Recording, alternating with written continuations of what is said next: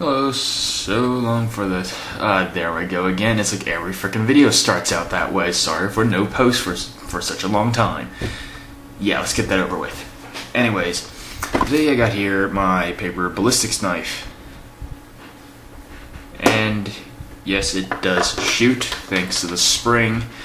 No, there is not a tutorial coming soon, mostly because this spring is hard as hell to track down.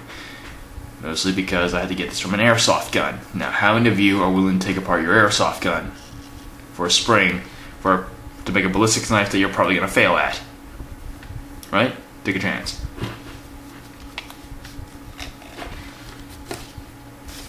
Now I'm going to give you a short demonstration of this before I explain to you what each part is.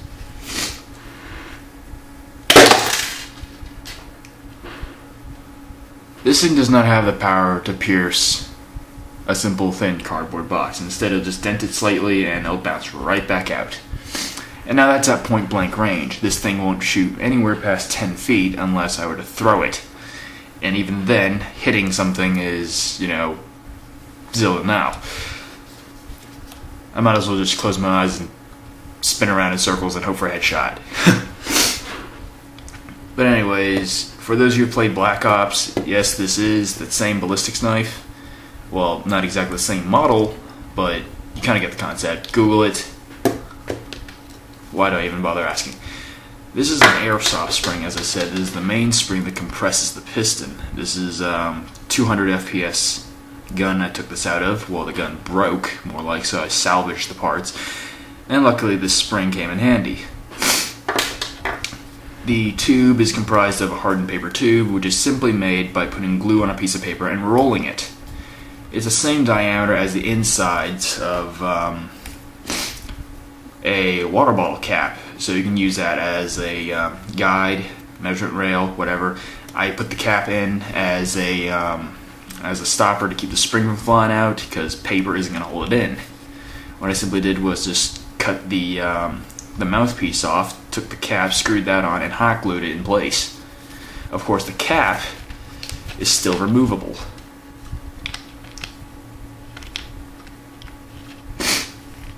Of course, you have the time and patience too. You can cut multiple caps, glue them end to end, and use the bottle caps to form the entire tube.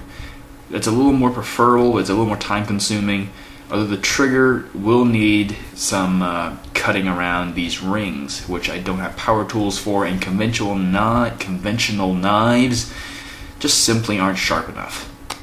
Or it's too risky if you have a really, really sharp knife, because a piece of plastic can break in unpredictable ways.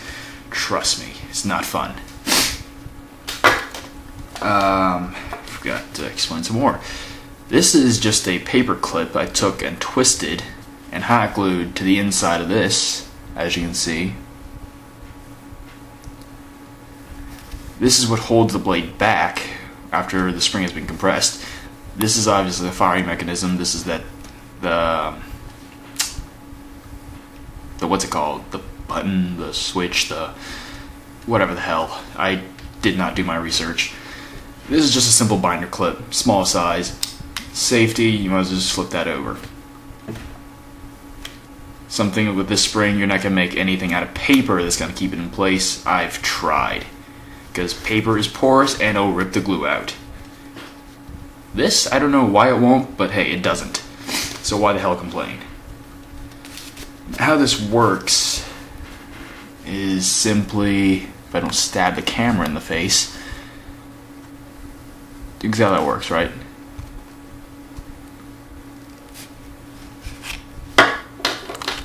It just simply grabs around the um, side of the blade's tang, I guess that's what it was. Would it be called on a ballistics knife? I don't know. These two holes were for something else I tried, didn't work, so disregard those holes. This is made out of paper, and this is just a simply cut popsicle stick. This stretches just a little bit in here because I forgot to put that in when I attached this. Now for a core on this thing, this is um, a rolled up piece of paper, same one I use for my arrows. And It's simply wrapped with paper over and over and over again until I got the thickness I want. And the spring would actually sit right there. I don't know if you can see it or not. Uh, focus, will you? See that? I'm gonna put the spring on there. It will look something like that. And it would just simply compress when inside. The little snub here is just to act like, you know, it was a spring guide until I figured it got in the way, so I just cut it off.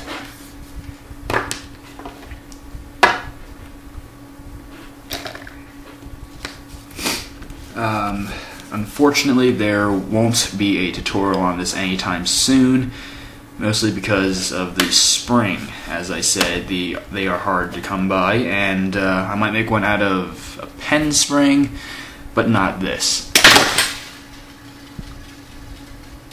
Yeah, told you the inaccuracy was a little unreliable. I don't know how the Russians do it, but I'm not Russian.